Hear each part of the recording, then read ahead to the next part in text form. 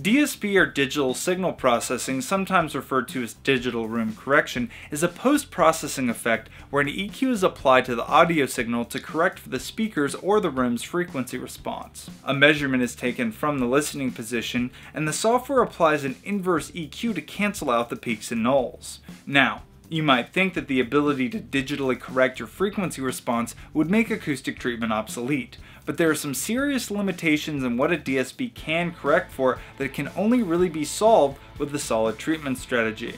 First off, it's impossible to correct for the interference from your early reflections using a DSP. When we treat first reflections, our goal is to lower the energy of the reflected sound in relationship to the direct sound. If you lower the signal from the speakers, both the direct sound and the reflected sound will be lowered in intensity at the exact same rate so the reflected sound will still smear the audio image in the exact same way. By adding absorption to your early reflection points, you take energy away from the reflections without lowering the audio traveling directly to the listening position. The same concept extends to reverberation time. Long reverberation times color your sound image and make it harder to hear the direct audio signal accurately. Because a DSP can only really lower or raise levels at certain frequencies, the relative energy in the direct sound compared to the reverberation won't change no matter how many filters we add. Remember the last time you tried to have a conversation in a crowded restaurant or conference with bad acoustics? You weren't able to hear the person right next to you because of all the reverberations off the walls. Even if you EQ'd the source of those reverberations, the reflections are still in the room coloring the original sound and making it harder to interpret. And even if you lowered certain volumes of frequencies, this could just allow other frequencies to build up even more. By absorbing these reflections, we can keep them from lingering in the room and mixing with the original audio source. Even in instances where peaks and nulls are the issue, DSPs can't always solve issues stemming from room modes or SBIR.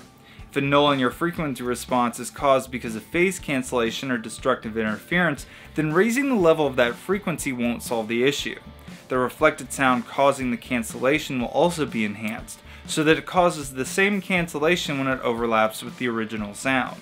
Another limitation of DSPs is that they only work at the listening position.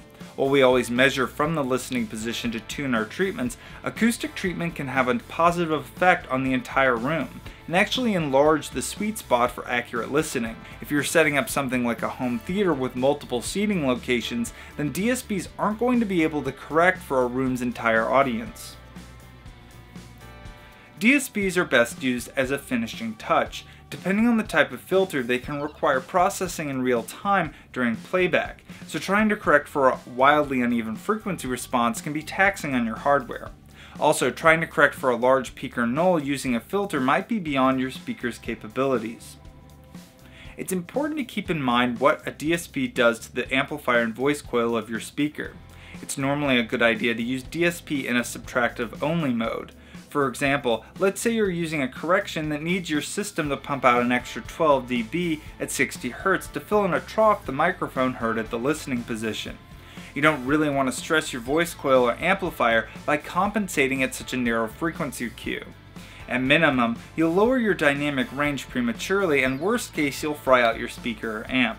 To get the most out of your room, you'll want to treat your early reflections, reverb time, and room modes with treatment and then have the DSPs clean up the smaller issues. This will also ensure that you're not overly EQing the original mix to the point where it becomes inaccurate. While the technology is impressive, the physics of sound limit what DSPs can and can't correct for. If you're still struggling with your frequency response, check out our free acoustic advice form, and one of our room designers can help you get the most out of your room.